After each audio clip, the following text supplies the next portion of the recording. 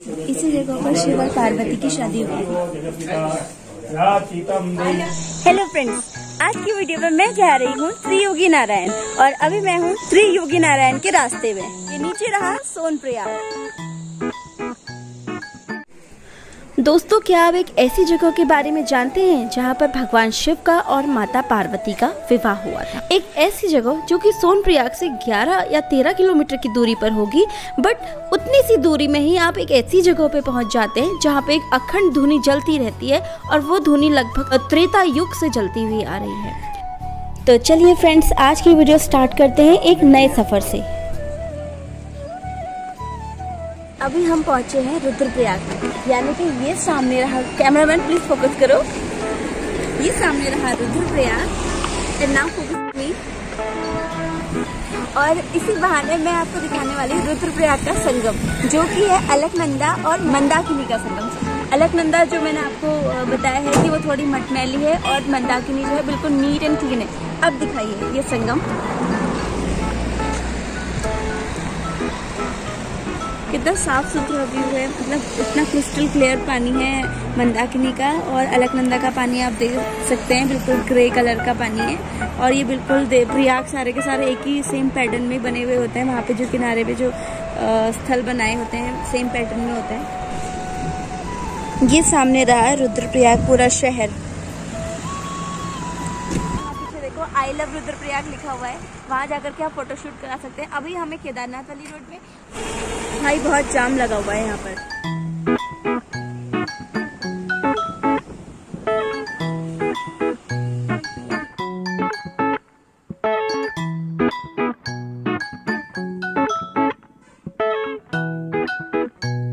अभी मैं हूँ अगस्त मुनि में और यहाँ से मैं आपको मंदाकिनी रिवर का जो व्यू दिखाऊँगी, वो आपने कहीं नहीं देखा होगा।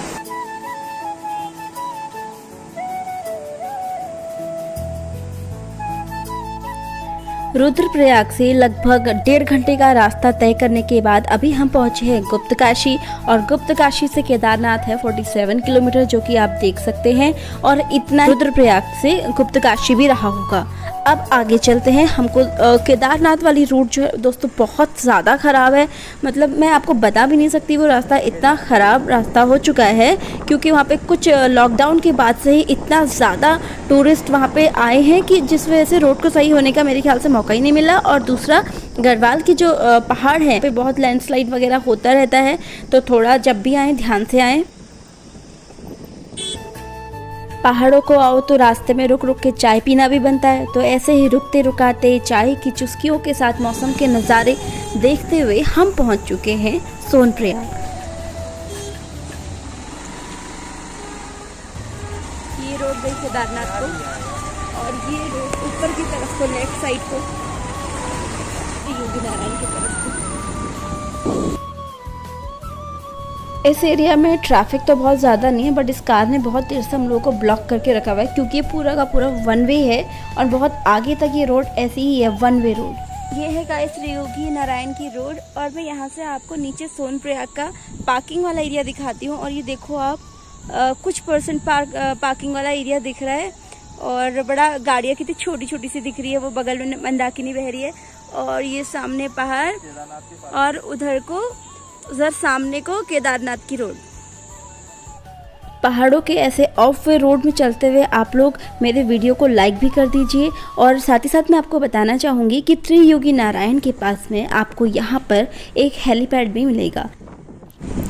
गाइस मैं पहुँच चुकी हूँ त्रियुगी नारायण गाँव में और आपने केदारनाथ मूवी तो देखी होगी ना? तो केदारनाथ मूवी में जो सुशांत सिंह राजपूत का जो गाँव दिखाया हुआ था, यहीं पर केदारनाथ मूवी की शूटिंग हुई थी। जो गाँव प्रॉपर दिखाया गया था, रामबाड़ा वगैरह, वो सब यहीं वाला गाँव था। सुंदर सा मंदिर है। इसमें कितने प्यारे प्यारे फूल लगे हुए हैं।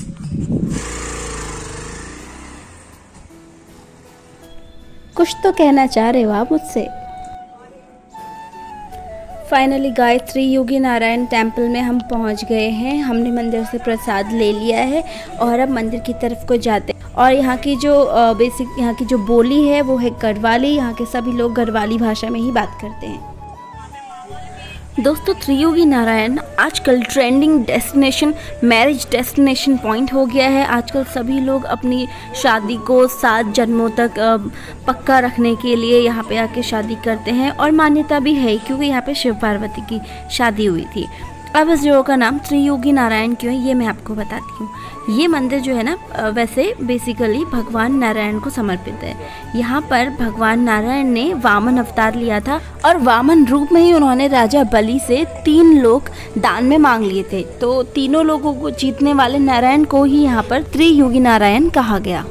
जब शिव और पार्वती का यहाँ पर विवाह हुआ था तो पार्वती के पिता राजा हिमालय ने भगवान नारायण को साक्षी मानकर यहाँ पर अपनी पुत्री का कन्यादान किया था।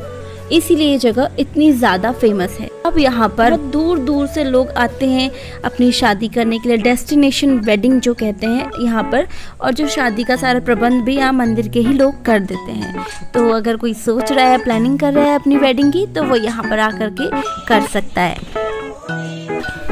दोस्तों, त्रियोगी नारायण में ना कुंडों का बहुत महत्व है। यहाँ पर टोटल सेवन कुंड है। टोटल सात कुंड है यहाँ पर, जिसमें से पहला कुंड है ब्रह्म कुंड और उसके बाद है रुद्र कुंड ब्रह्म कुंड में और रुद्र कुंड में स्नान किया जाता है, अपने आप को पवित्र किया जाता है। पहले तो लोग यहाँ पर कंप्लीट स्नान करते थे, लेकिन अभी यहाँ पे पंच स्नान वगैरह ही करके काम चला ले जाते रुद्र कुंड के अंदर शिवलिंग है, इसीलिए उसके बाद आता है विष्णु कुंड विष्णु कुंड में आचमन वगैरह किया जाता है।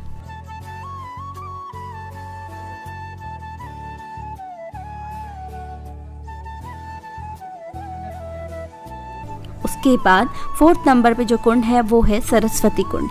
सरस्वती कुंड में पितरों का तर्पण वगैरह किया जाता है।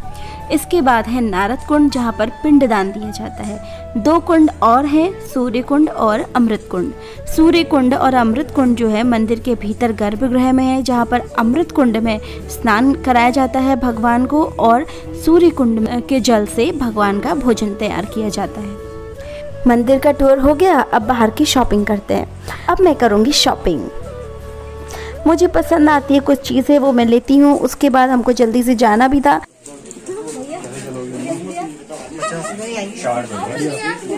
हाँ ले ले।